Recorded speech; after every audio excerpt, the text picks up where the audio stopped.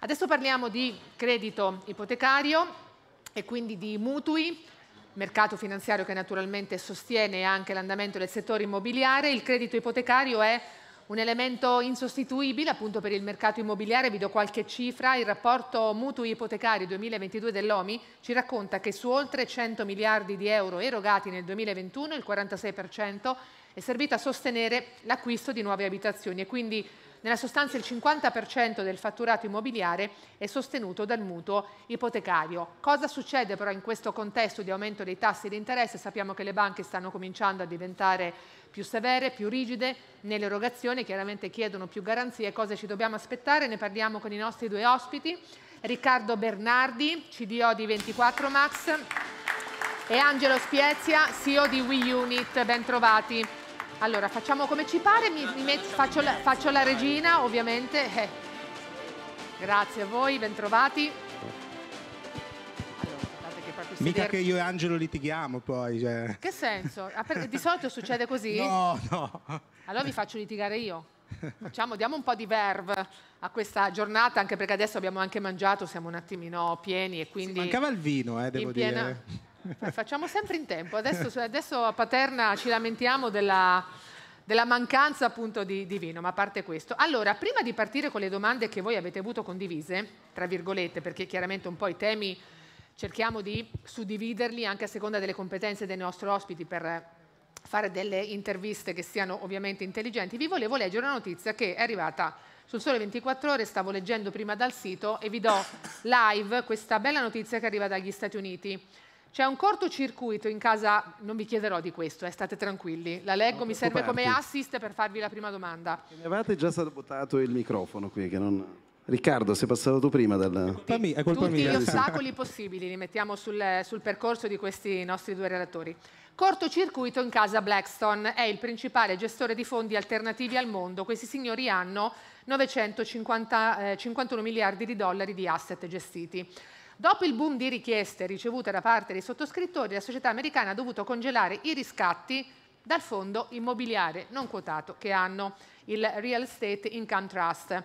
È una mossa che ha destato molta preoccupazione a Wall Street. Vado avanti rapidamente sulla notizia, non ve la leggo tutta, ma diversi analisti hanno puntato il dito sui ritardi con cui il fondo si starebbe adeguando alle valutazioni del real estate penalizzato dai rialzi dei tassi di interesse. Questo è un fondo che offre un rendimento anche discreto, 9,3%, un valore che però stride con il 22% di rialzo dell'indice di categoria Dow Jones. Le richieste di riscatto, questo è un aspetto che mi ha fatto veramente ridere, sarebbero arrivate in gran parte da quotisti asiatici che ovviamente avendo i problemi a casa loro vengono a crearne certo. anche dall'altra parte del, del, globo. Detto questo mi soffermo solo sulla riga, fanno fatica a valorizzare le quote del loro fondo sulla scia di quello che sta succedendo appunto sui, sui tassi di interesse, perché questo è un po' il tema eh, con il quale intratterrò i nostri relatori. Stiamo vivendo una stretta monetaria perché le banche centrali stanno correndo dietro all'inflazione, qua da noi nell'Eurozona siamo intorno al 10%, per combattere i prezzi occorre intervenire a colpi di aumenti dei tassi di interesse. Un flash da entrambi. In che misura arriverà la stretta creditizia da parte delle banche? Perché qua il punto non è se e quando arriverà, è già in corso, ci dobbiamo aspettare eh, maggior severità nell'erogazione del credito destinato all'acquisto appunto degli immobili prossimamente. Spiezia, vediamo se funziona il microfono. Ok, provo, sì, va. E allora, in quale, intanto buonasera a tutti, grazie, grazie per questa domanda molto interessante. E allora, quale stretta dobbiamo aspettarci? Allora, qui ci sono una serie di riflessioni che vanno, vanno fatte. Una tra, tra tutte il fatto che l'incremento dei tassi di interesse, che per carità di Dio non fa certamente paura, non ci dimentichiamo che i tassi dei mutui qualche anno fa erano arrivati anche al 12 al 13%, però questo chiaramente cer- certamente potrebbe eh, destare un rallentamento, perché? Perché non dimentichiamo che eh, fino a, a quest'estate i tassi di interesse di deposito erano in negativo e quindi le banche erano spinte dalle banche centrali a, immettere, a, impiegare il denaro con forme di finanziamento di qualsiasi forma, oggi sicuramente questo potrebbe rallentare un po' questa, questa corsa. Detto questo, il nostro osservatorio, insomma, stiamo comunque monitorando giorno dopo giorno quello che accade e comunque vediamo che la fiducia dei consumatori, nonostante l'incremento dei tassi di interesse è ancora buono, anche perché non dimentichiamoci che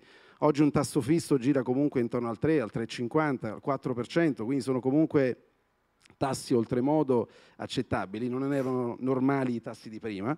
Certamente per un istituto di credito è oggi molto più conveniente erogare credito, perché era diventato sconveniente erogare credito, perché i margini per le banche che non dimentichiamoci stanno vivendo già un momento di profonda crisi, erano stati erosi completamente, quindi sicuramente oggi le banche avranno necessità di fare impieghi e continueranno certamente a fare impieghi. Lei ha pronunciato una frase veramente interessante e pertinente. Era la situazione precedente che non era tanto normale, abbiamo vissuto per anni questa condizione di eh, rendimenti negativi sui titoli di Stato, quindi delle situazioni anomale. Situazione Adesso, paradossale. Eh, ci stiamo normalizzando, ma ovviamente fatto sta che chi si è fatto il mutuo negli ultimi due o tre anni ha veramente fatto il terno all'otto, no? Bernardi? Sì, assolutamente. Allora, fermo restando che ho ascoltato con attenzione questo articolo e al nostro cliente medio che vende il bilocale, che compra un telelocale, gli interessa tantissimo eh, di, del fondo americano. Vabbè, volevo fare un po' la splendida. devo, dire, devo dire che non, so allora, se Io non sono d'accordo con lei, perché anche la crisi dei mutui subprime non ce ne fregava no, niente, vero, poi dopo, dopo sei mesi, esatto, quindi non, non sarei allora, troppo quello, leggera con questo. Quello, quello che, che stiamo, stiamo notando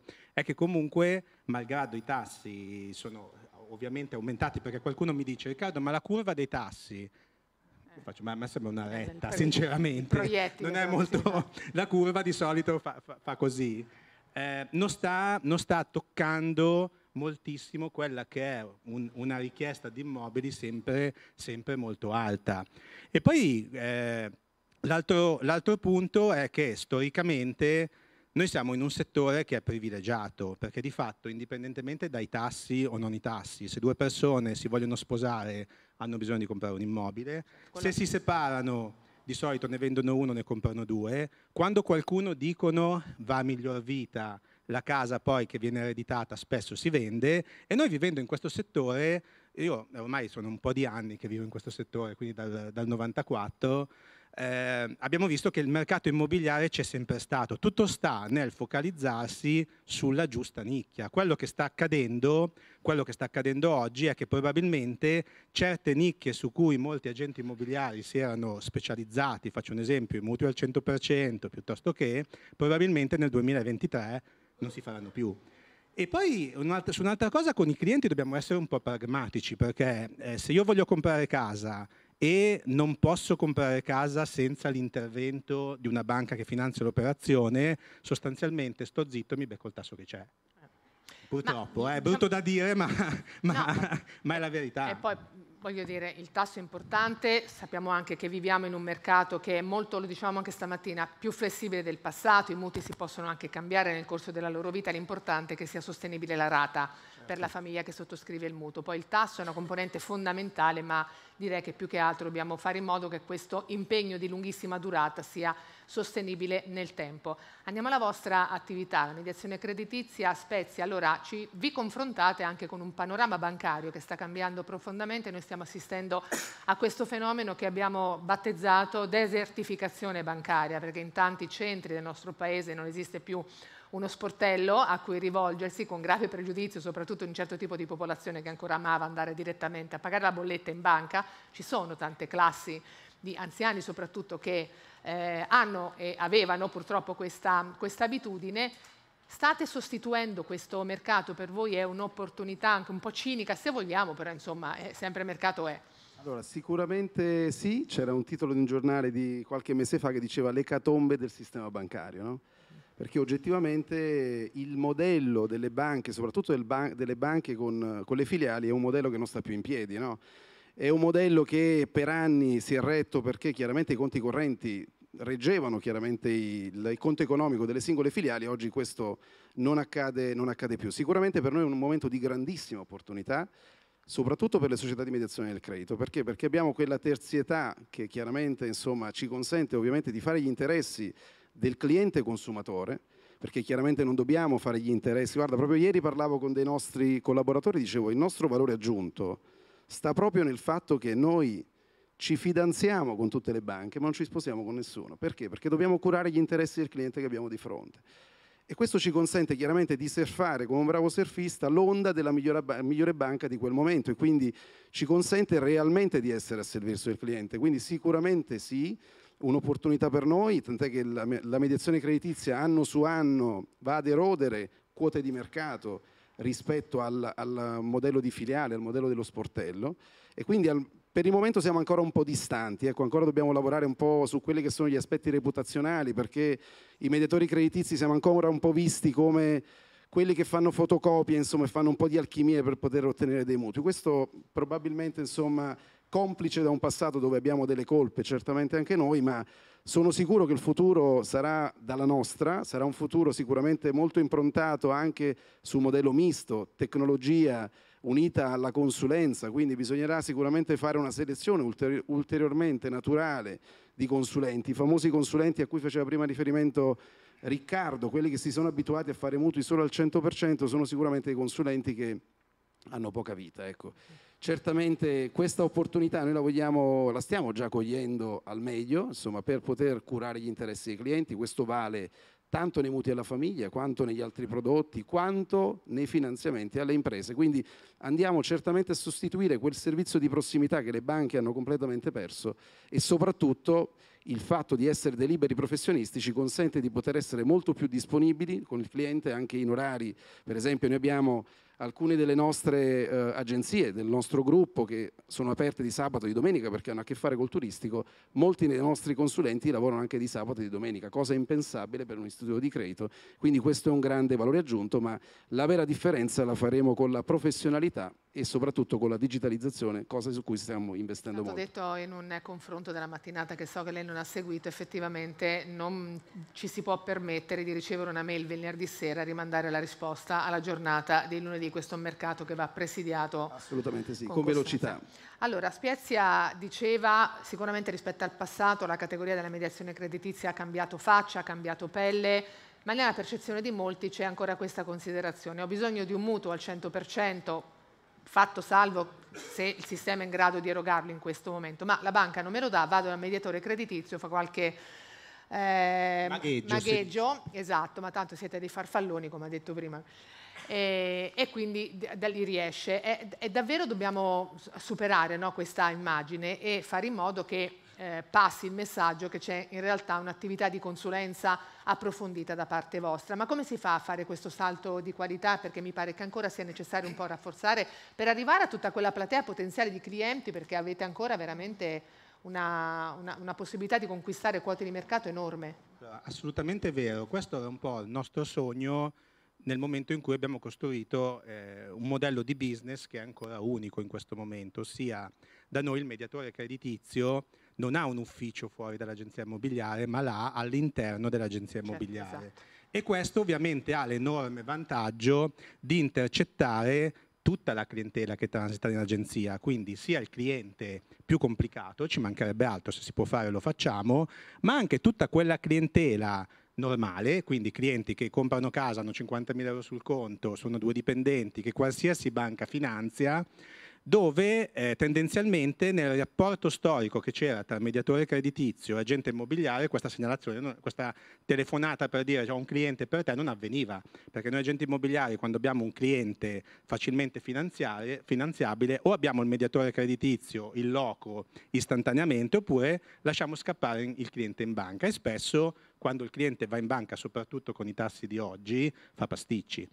Allora, eh, il fatto di poter intercettare tutta la clientela eh, sta permettendoci di lavorare all'84% con le pratiche con un LTV sotto l'80% e solo il 2,5-3 sono le pratiche al 100%.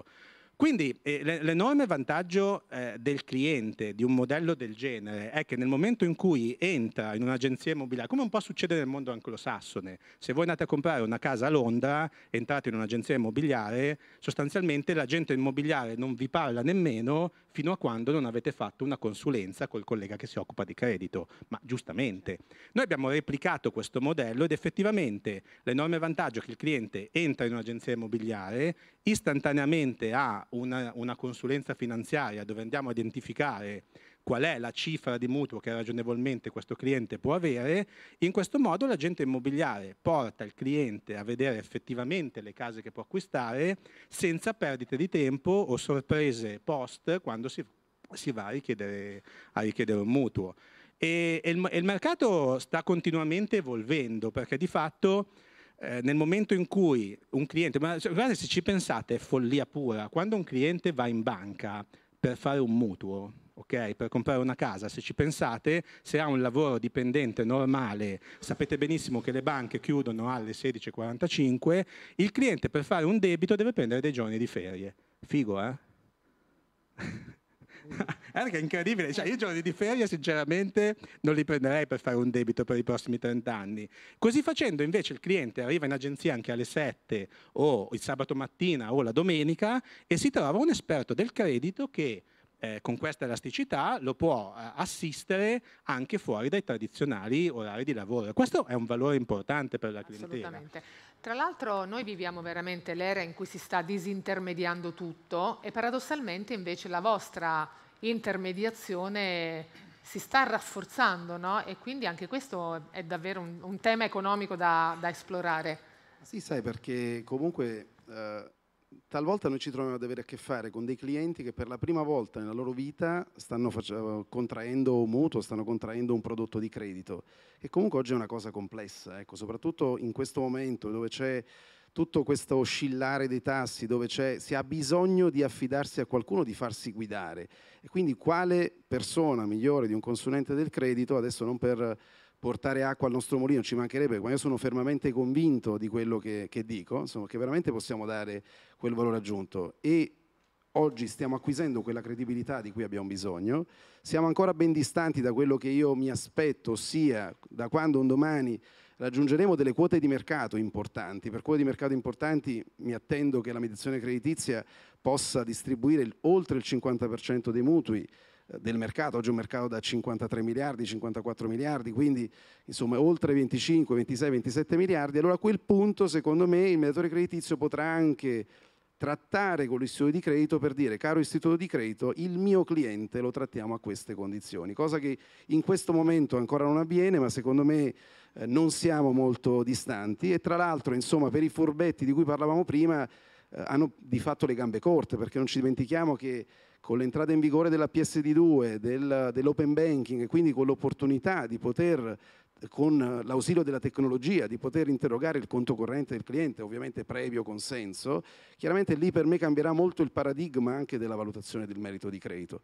E quindi eh, ancora oggi stiamo utilizzando metodologie degli anni 90, ma secondo me insomma, oggi si, si, andrà verso anche un cambiamento radicale sotto questo aspetto. Sotto questo aspetto, come dico, eh, però i primi a cambiare dobbiamo essere anche noi, altrimenti facciamo la fine delle filiali bancarie. Per questo motivo noi stiamo facendo dei fortissimi investimenti in tecnologia tecnologia, i nostri sistemi dialogano già con i sistemi delle banche, degli intermediari finanziari, delle compagnie di assicurazione, perché il vero futuro è tagliare i costi di ciò che non ha valore e sicuramente caricare una pratica e star lì a perdere un'ora di tempo per inserire dei dati quando poi abbiamo milioni di dati duplicati su milioni di database è veramente una cosa sciocca, quindi qui sicuramente eh, l'API e l'open banking e tutte le nuove tecnologie ci daranno una grandissima mano e ci daranno anche una mano a tagliare fuori da questo mercato i furbetti. Abbiamo qualcosa sotto i due minuti ancora a disposizione, come vedete nel futuro eh, un ulteriore miglioramento nel rapporto con la categoria degli agenti immobiliari, insomma cosa potete fare voi per loro e loro cosa devono fare per voi per poter aiutare, per poter lavorare al meglio insieme.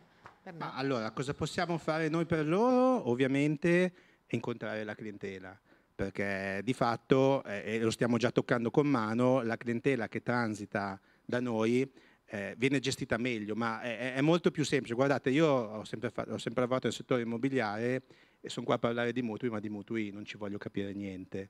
E, ma, ma, ma, basta una cosa se ci pensate, eh, quando un nostro collega del credito parla con un cliente e gli dice caro cliente, secondo lei è più imparziale il direttore della sua banca che gli vende solo i prodotti della sua banca o io che le vendo i prodotti di 10 banche, magari incluso quello della sua banca. Quindi questo è quello che possiamo fare noi per gli agenti immobiliari. E gli agenti immobiliari, quello che possono fare per noi è non lasciare andare i clienti in banca da soli, perché la nostra fortuna, il motivo per cui la mediazione creditizia continua a crescere, è l'incapacità del sistema bancario di adeguarsi a quello che vuole il mercato, ossia l'elasticità, la velocità e anche una consulenza fatta da una persona che è motivata a far sì che quel mutuo venga, venga, erogato, perché noi siamo pagati ad erogazione, la persona che lavora in banca ha lo stipendio indipendentemente dal risultato di quel mese e fa un po' la differenza. Okay, giusto 10 secondi, visto che siamo in chiusura. Beh, è proprio il titolo di questo evento, sinergia, cioè dobbiamo fare un lavoro fortemente sinergico, spalla a spalla insieme agli agenti immobiliari,